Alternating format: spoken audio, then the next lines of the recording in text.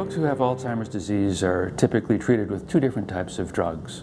One uh, is called Namenda, and it works on a, a, receptor molecule in the brain. And the other is uh, an inhibitor of a neurotransmitter breakdown.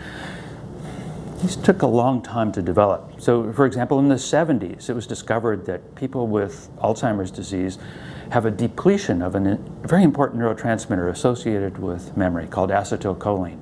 So, uh, pharmaceutical companies discovered a way to slow down that breakdown, and it took 15 years before that ever made it to the drugstore. And sadly, Neither of these approaches work very well. They're palliative, they're not disease modifying. What we want is disease modifying therapeutics. Our lab uh, has been sort of a pioneer in the area of identifying A beta oligomers, which we also called ADDLs, uh, as a toxin, as the toxin that causes memory failure early on in the disease.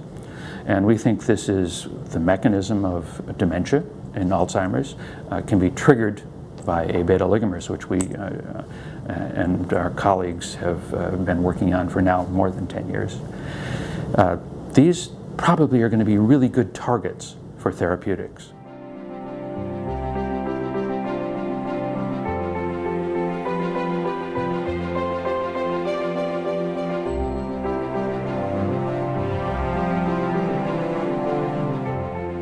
My goal in the lab is to try to identify molecules that block the binding of A beta oligomers to neurons, so to prevent their toxic effect on neurons in Alzheimer's disease. My work in this lab is to characterize the toxin, the oligomeric toxin, that we believe is um, the cause of many of the pathological effects you see in Alzheimer's disease. We're looking at the effects of the neurotrophin on the synapse uh, disconnection so synapse being the connection between neurons that are essential to form memories. Uh, this disease is actually uh, producing neurotoxin that robs uh, the memory formation. And um, the interesting part of it is to try to understand the dynamic of the protein that are located at the synapse and how the synapse are actually uh, dying after the accumulation of this neurotoxin. My current project is to develop a MRI probe that we can use for early diagnosis and hopefully actually therapeutics of Alzheimer's disease.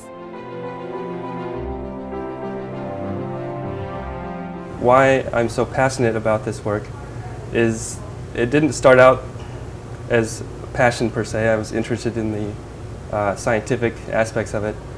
But when I talked to people, my family who are uh, interested in what I do, and I told them I'd work on Alzheimer's disease, and working on finding drugs, seeing the response uh, in them that they were so excited about the prospect of these maybe new treatments was, was sort of a, became a driver for my excitement. I've always been interested in research and this is something that can affect a lot of people. I, I think that's one of the reasons why I enjoy doing this work.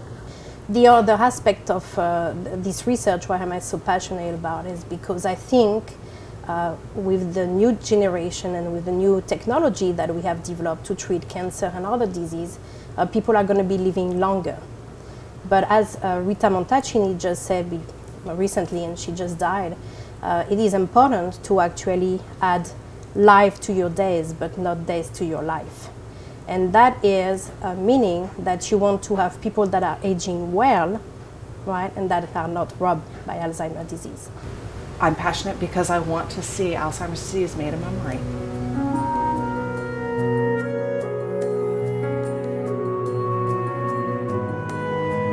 A huge amount of collaboration, and that's the only way progress can be made. My lab probably uh, collaborates with 15 other laboratories around the world, Japan and Brazil and France. Uh, these collaborations allow people who are expert in one technology to interact with those who are expert in a complementary but different technology. One of the big breakthroughs, I think, uh, that is closest to the clinic is the development of vaccines for Alzheimer's disease. They haven't really worked so far, but they've been off target. You know, can you imagine getting a shot for Alzheimer's disease, just like you get a shot for the flu? Um, that's our goal. And in fact, uh, the work from mouse models that have Alzheimer's disease um, indicates that you could even reverse the disease uh, at its early stages. You can give them a shot that neutralizes the toxins, and that's one of the approaches my lab is taking. Uh, neutralizes the toxins, and they recover their ability for learning and memory. It's very exciting. So uh, we made our first publication in the discovery of toxins, uh, these oligomers, in 1998.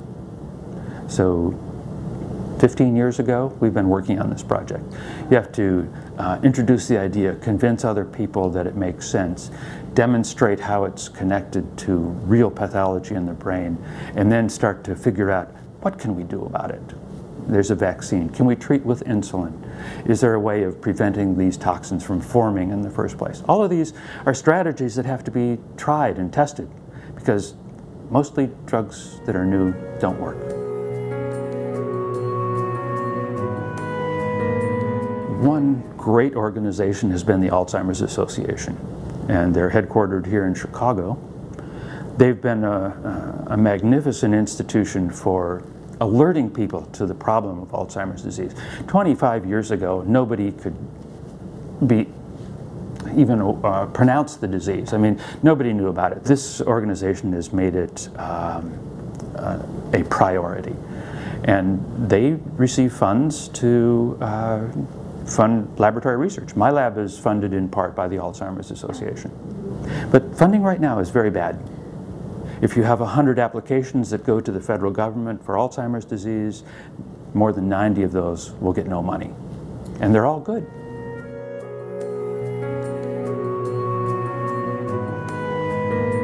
It seems like we're that close.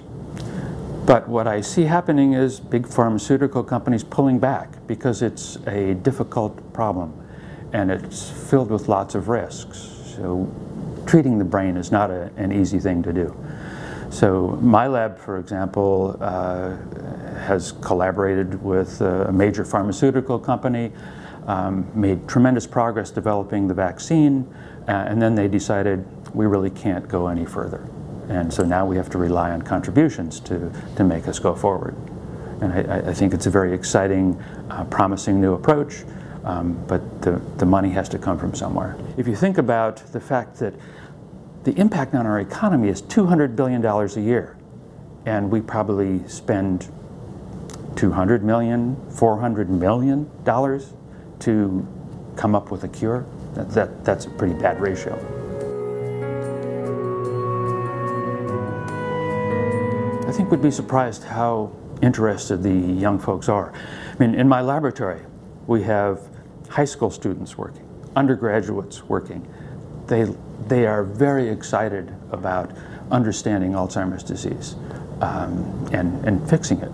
And, and they know their parents are going to get Alzheimer's disease, and they know if we don't do anything, they're going to have to pay the bill in 2050 at a time when the economy is going to be very hard pressed uh, to take care of their parents.